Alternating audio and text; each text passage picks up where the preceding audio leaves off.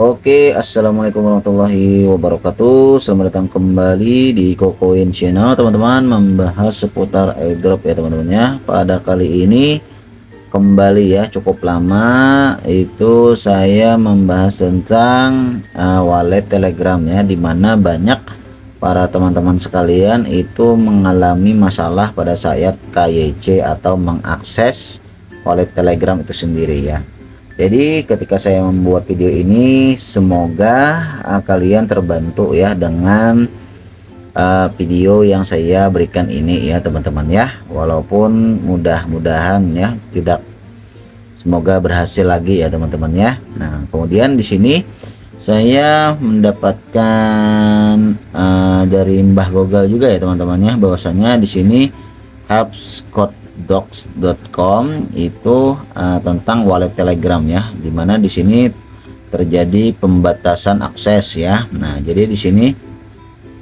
akses ke wallet itu ditangguhkan apa alasannya? Nah jadi terus jika aksesnya disuspend tapi saya punya kripto bagaimana cara withdrawnya? Nah di sini sama seperti Q&A ya uh, dia bertanya uh, misalnya kalian bertanya dia jawabnya gitu teman-teman ya nah jadi di sini kita bisa uh, melihat apa-apa saja yang terjadi ketika kalian itu mau KYC wali telegram ya. Misalnya uh, pembatasan wilayah atau misalnya pembatasan usia. Nah nggak bisa. Di sini kalian bisa lihat teman-teman ya. Verifikasi duplikat verifikasi tidak berhasil misalnya kita cek untuk pembatasan usia ya teman-teman ya.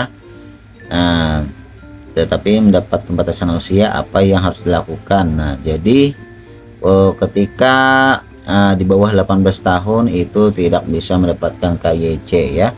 Jadi bagi kalian yang belum 18 tahun itu uh, pastinya tidak bisa KYC untuk kali telegramnya ya teman-teman ya. Dan tunggu sampai kalian 18 tahun dulu.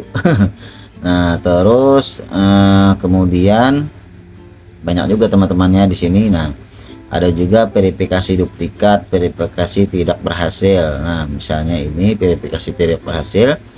Saya mengalami masalah verifikasi KYC apa yang harus dilakukan? Dalam kasus Anda verifikasi tidak berhasil sehingga pembatasan akses bersifat final Nah, jadi karena pemeriksaan identitas dan KYC hanya dapat dilakukan satu kali, Anda dapat membaca lebih lanjut. Nah, di sini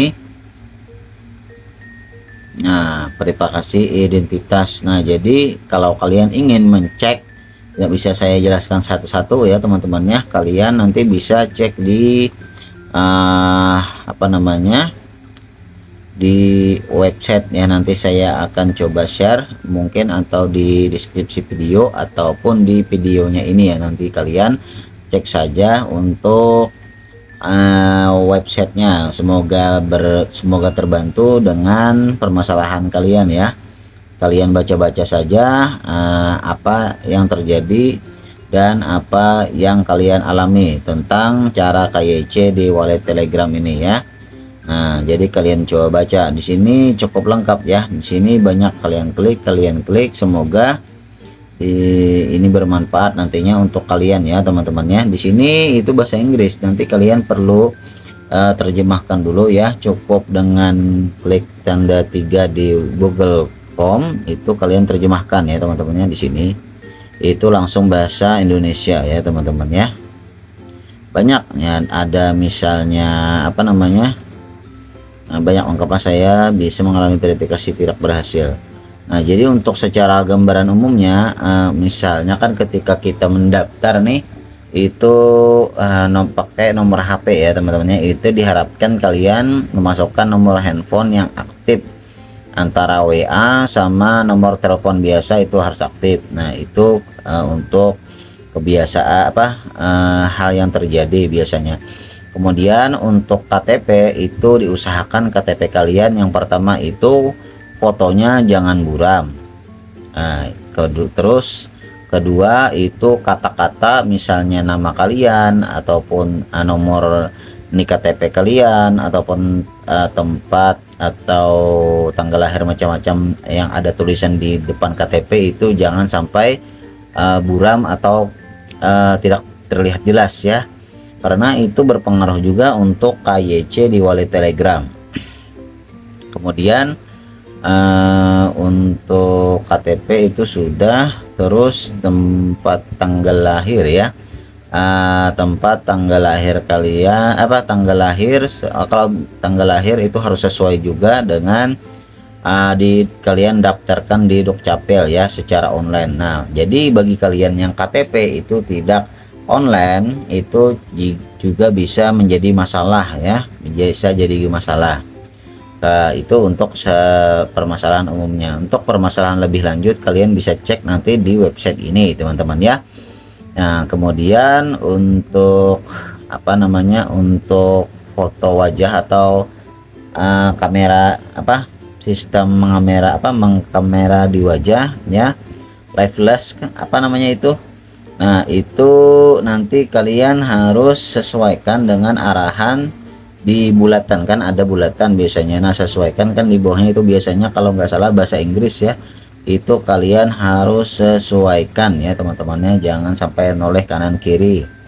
Uh, tergantung arahannya. Kalau no, katanya noleh kanan ya noleh kanan. Atau noleh kiri ya noleh kiri gitu teman-temannya.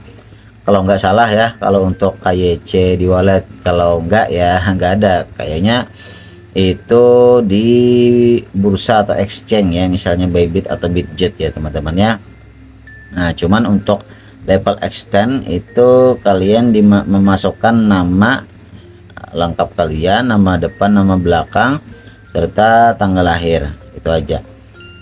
Nah kemudian katanya uh, sempat juga saya membaca bahwasanya hmm, uh, kalian itu hanya punya nama depan saja tidak punya nama belakang. Nah jadi opsinya itu pernah juga ditanyakan di Google itu bahwasanya dia punya nama depan saja.